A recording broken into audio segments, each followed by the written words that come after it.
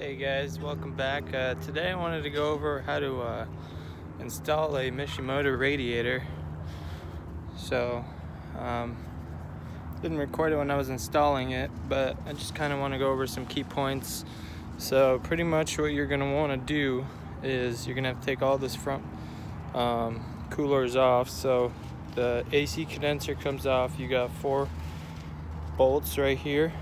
Those come off you remove that you remove your uh, intercooler brackets right here to hold it down and then uh, remove off your uh, couplers from each side. And uh, once you have that removed you pull the intercooler off and then uh, behind the intercooler you're gonna have your transmission cooler that also that has two bolts on on the top parts and then it just slides in on the bottom on the radiator and then there's a power steering cooler all the way down there. I don't know if you can see it but let's go underneath. And then there's your power, steering cooler that also um, just has two bolts on each side holding it. And then that comes off. And then um, you have two um, two bolts holding in the radiator one right here, one on the other side.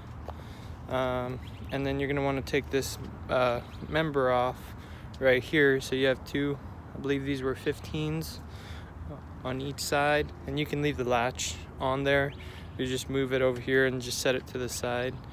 Um, and then uh, remove your hose clamps and just push these uh, shrouds kind of out of the way. There's also uh, bolts that hold in the shroud on each side. So take those out and uh, once those are out you you can push the shroud forward and remove all the hoses the top and bottom hose over here and then uh, lift the radiator out stick the new one in and then just kind of reverse it. Smag everything back in throw your bar on over the top and then reassemble it. Um, wasn't too hard. I just made sure uh, when I replaced the radiator that I just got new, new hoses. My hoses weren't bad, but thought while I was already there, I might as well just do that. And then uh, on top of having the radiator, I, uh, I also have a uh, 190 degree um, thermostat in here from Mishimoto as well. And uh, they've been working great. My temperatures don't even get close to 200.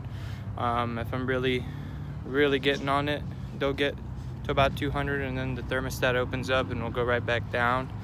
Um, so definitely worth the money and also uh, you definitely you get a lifetime warranty with this thing. So if anything happens um, you just let them know and you get a new one. So I definitely like the radiator. Um, my next step is I want to buy the I got a little leak on my transmission cooler so I want to get a new uh, Mishimoto transmission cooler there and auxiliary cooler. I already have one I already have an auxiliary cooler here but all the fins are all bent up so I want to get a Mishimoto auxiliary trans cooler as well.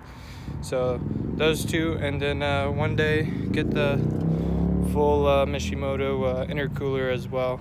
But uh, yeah so that's just that's uh how you uh, replace that radiator. Um, didn't take me very long. I want to say it took me about an hour, maybe an hour and a half with, you know, stopping and taking breaks and stuff. So that's that's about it. Thanks and uh, like and subscribe. Thank you.